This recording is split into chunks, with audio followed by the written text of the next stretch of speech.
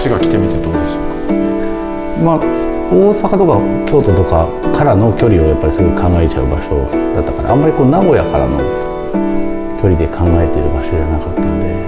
どっちかっていうと僕の頭の中では京京都とかこう、まあ、今回も京都から来たっても結構あるけどそういう意味ではなんか僕東京に住んでる僕からすると、まあ、益子に行くとかさそういう感覚に近い。だからもう東京みたいな大きい都市があってその大体12時間圏内ぐらいに大体こうそういうものづくりをしている人たちがこういる感じ。そういう感覚で同じ感覚で見見て見てみた部分結構あったかな。そういう近郊にいてる人若者たちがどういうふうにこう自分のところに立ち返って仕事をしているかっていうとまあ大谷君なんかは一番分かりやすい例やったと思うんやけどどうでしたか？生活とともにものづくりがあるっていう。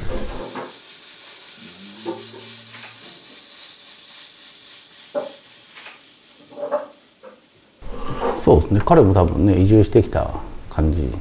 ではあるからなんかあの益子の人たち見てるような感じはあったし作品としてもすごい優秀だし。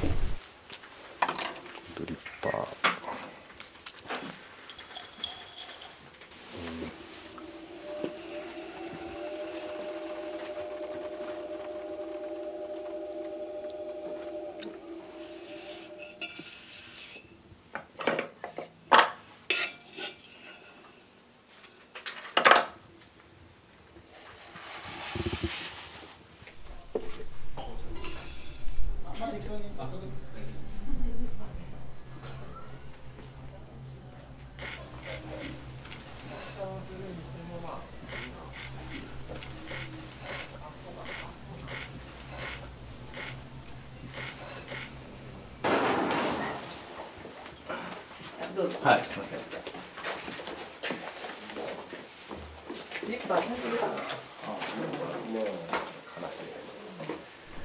まあ移住してるがゆえに自分たちの生活が楽しくなるようにいろんな工夫というかまあね住環境もやっぱり自分たちが気持ちが上がるような工場作り、まあ、あのいわゆるスタジオ作りもしてて、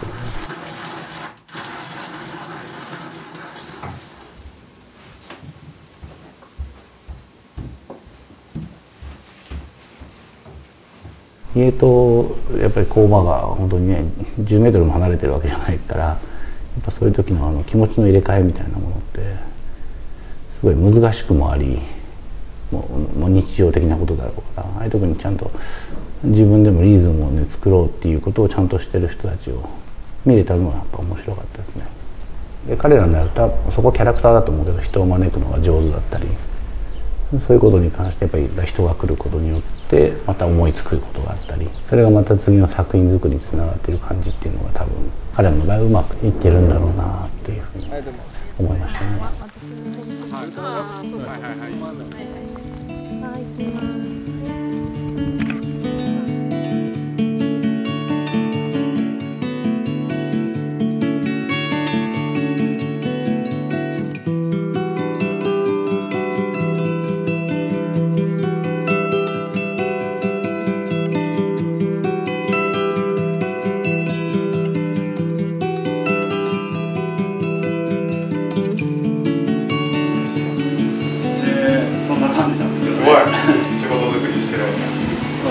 も新しいまあやり方かなとか思ってなんかふと思ってなんか今大体ね工場で作ってやる洋服って工場で作るものっていう感じになってるんですけど、なんかまあ必要な分だけ作るっていう意味ではすごくやり方としてはありかなと思って、うん。あうん、だからあんまストそうやっててもあまりストックを持たないようにしていて。はい。どれぐらいまあ、オーダーとかでお受けしたら2か月ぐらいとかもうちょっと早くもできたりする場合もあるんですけど基本的には2か月ぐらいって言ってるんですけど、まあ、これは？これが滋賀県で起きてる？今それこそあの西安で展示してるやつは、うん、あのこここれ折ってもらってる滋賀県で折ってもらってるやつなんですけどこれの傷物とか、うん、使われてないやつをあの傷屋さん折ってるところ行って引っ張ってきて、それを使って作ってるんですよ。で折り傷とか汚れのものとかって、もう使えないものストックしてあるんですよ。うん。それをまあ僕が買って使うっていうのをしたいなと思って作ったんですよね。なるほどね。だからあのシャツ自体に結構ちょっと傷があったりうん。汚れがあったりはするんですけどそれはそれでね。それはそれでかっこいいんじゃないかう。それでやったん何貝なんだろうねこれね。これがあのねそれがあの淡水真珠作ってる池町貝っていう貝です慶長貝はい。あのその大津の方で真珠作ってる。このいびつなのがいいね。そうなんですよね。だからその貝自体も結構捨てられてたんですけど。重さがあるよね。うん。中に真珠なんだ。そうそうそう。そうそうもともと真珠を作るための貝になってたんですよね。直売180件やってる。うんですよね。うん。やけど今。すごい産業やったんですよね。だからパール自自身もインドと中国でめっちゃ売れてたから、うん。だから。ジムコさんにあの冊子見せてもらったら全部英語ですもんねその昔のやつでね。そうそうそうそうあれがすごいなと思って。久米君は僕も何年か見ているんで滋賀で、まあ、地元だっていうのもあってあの場を借りてやり始めたと思うんだけど最初はまあ多分大変だったと思うんだけど多分、まあ、僕の鹿児島の仲間とかともすごい、まあ、性格だと思うけどすごく溶け込んでいろんな人たちからいろんなオーダーをもらうようになってそういった時に多分その地方らしさをしてしまうと自分のらしさは何だろうみたいな地方に行った時にやっぱ大体気づくんだけど自分の滋賀って何とか滋賀らしさって何とかえ今度滋賀行こうと思うけど滋賀美味しいとこあんのとか滋賀でいいもの作ってる人いるのってやっぱり聞かれ始めてんだよね多分ね。ないし自分がものづくりとしてもそれを表現しなきゃいけない時期に入っちゃってるからだから今のタイミングで今回見たあの貝のボタンだったりとかそれもう全てがそういう今タイミングに彼は外に出た分今自分の滋賀でなんか結びつきたいこととか表現したいことが溜まってんだろうなっていうふうなこうニュアンスはすごく温泉行っててもそれ語ってたから。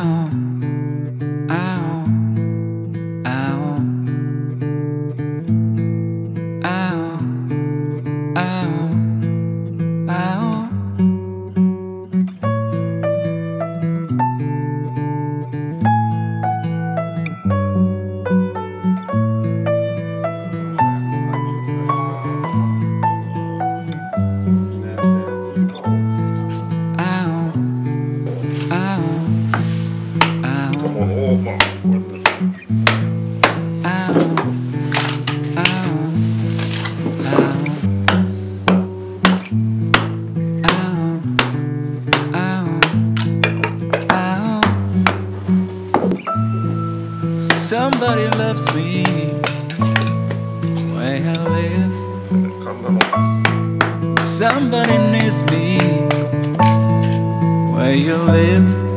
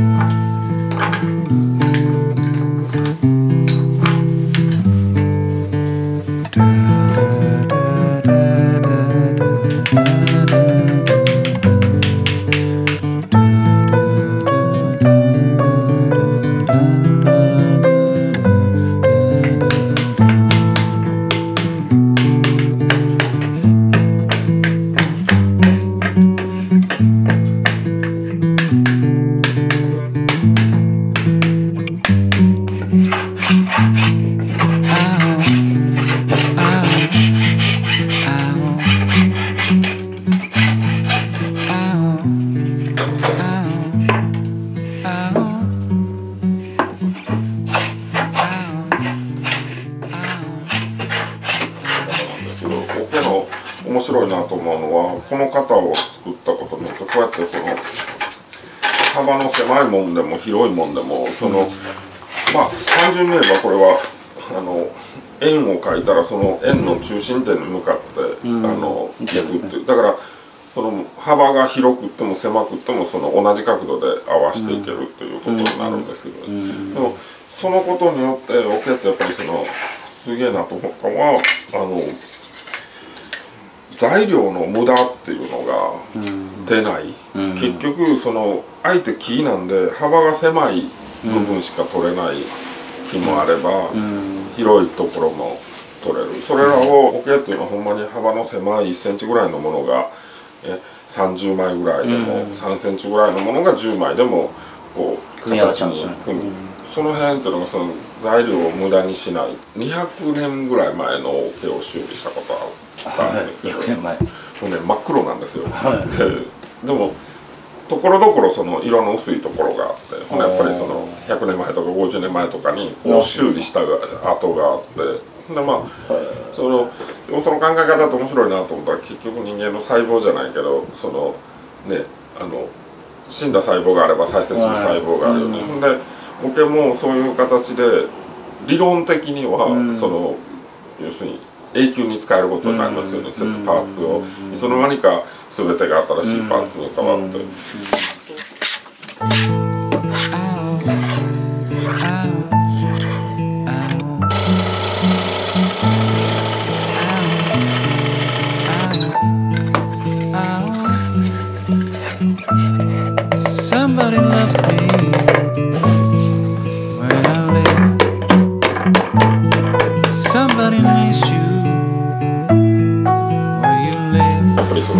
でのその生活スタイルが変わった中で結局そのオケを今までのオケをそのまま作ってても実際売れぬ売れなくなってきたっていうところもあってそれでまあ where you live. どうやってデザイナーさんとのコラボレーションであったりっていうことが増えて、まあ、それにより新しいものっていうのを今模索して、まあ、実際オケの技術っていうのがその、ね、この次の50年とか次の100年残るようなことっていうのを模索してますね。まあ、それのためのトライアンド、ね、エラーっていうのを繰り返しで、まあ、その中から一つでもその次50年100年っていうふうに残るものが生まれてくればいいかなっていうふうには思ってるんですけどね。今日の中川さんなんかは特にヨーロッパまで出ていくなんて普通にやってるじゃないですかでそうすると外から見る視点と中から見る視点を同時にこう滋賀の良さみたいなことを帰ってきてはやっぱり思うみたいなことで作ってるっていうのは多分コミュニケーションの一つでもあって、えーと外側にいる人たちとこうアクセスしやすい状況が作るという行為であったりすると。毎日の中で楽しめるっていう状況は十分ここで作れる。ヨーロッパとかやっぱりどうしてもメーカーが強いじゃないですか。でアメリカとかはすごいこう個人がすごく自由にいろんなことをできる。場所だったりするからヨーロッパはもうちょっとこういろんな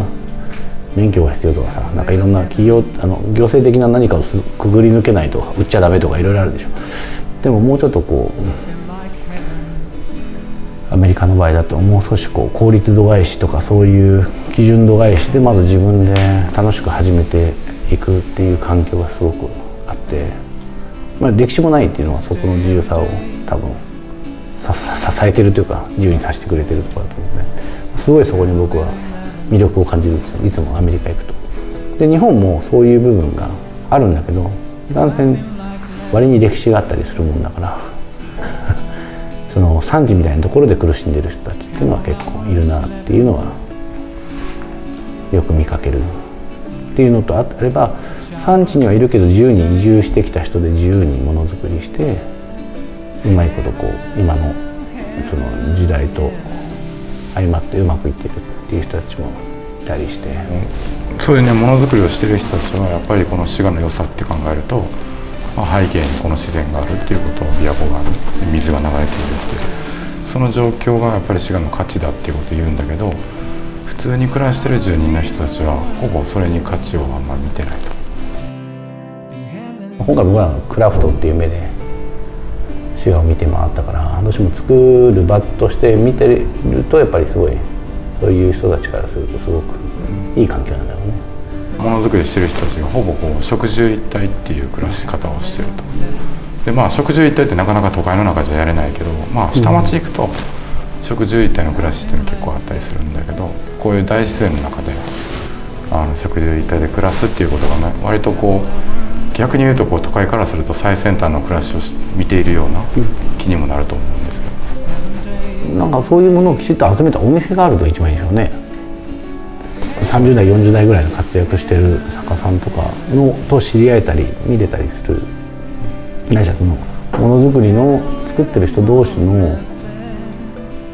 コミュニティを作れるようなお店が現れるのが一番いいはいいんですけど地域地域にその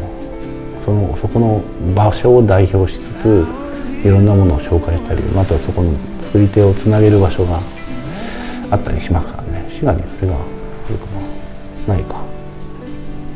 まあそれがあるのが早いは早いんですけどあった方が幸せかどうかは分かんないです。特にそのオーナーさんのキャラクターが一番重要なんで誰がそれをこう受け入れてバーンってみんなを手を手をつながせたりとかできるかっていうのはすごい結構そこは天職じゃないとできないっていうかねそこが上手な人じゃないと。